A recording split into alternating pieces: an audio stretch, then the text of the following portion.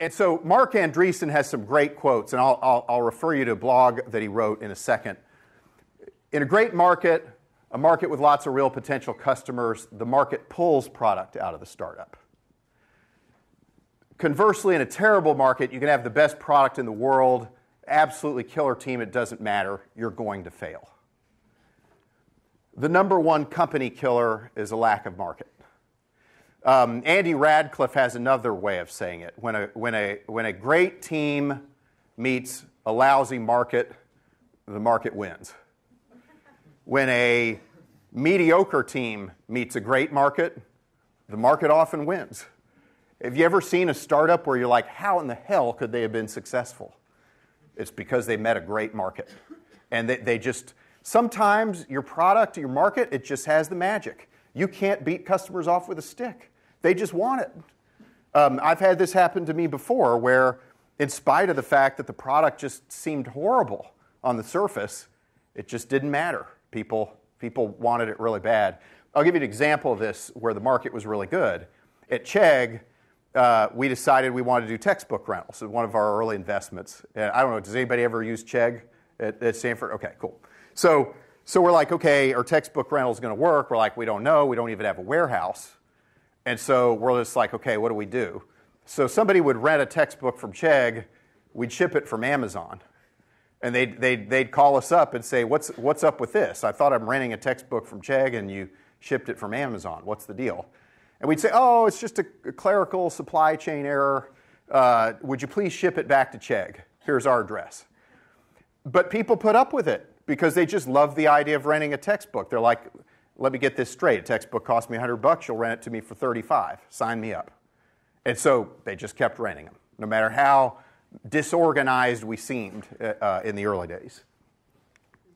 So to me, product market fit is more of like a it's more of like a dance between the product and the market. You know, it's like if you ever see two people doing the tango, I look at it like the product is leading the dance, but the market is tangoing with the product in a, in a sort of a you know, I'll try to be G rated in my language, but sort of an intimate sort of back and forth uh, between them.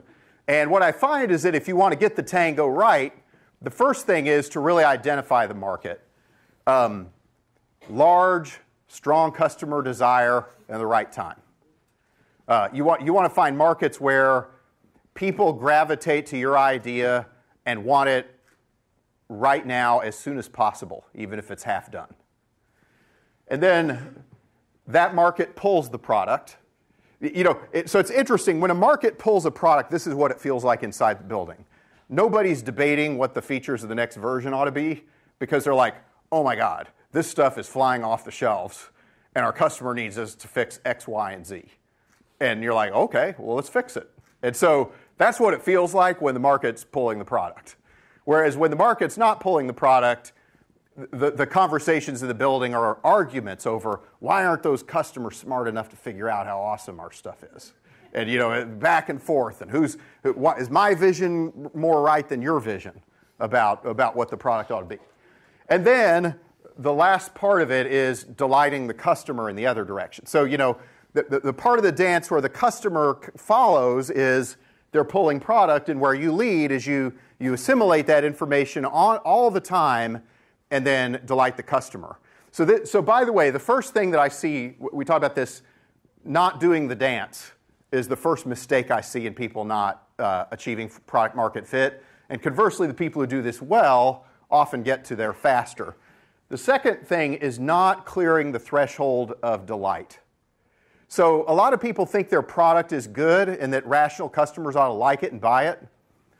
But customers, I won't use the exact words, they need to say, WTF, I didn't know that that was even possible. Are you kidding me? So I'll, I'll give you an example. When Lyft first launched, we had a, um, an associate at the time, he's now at Rothenberg Ventures, Tommy Leep. And uh, he was the Stanford tree, for those of you who've been here for a while.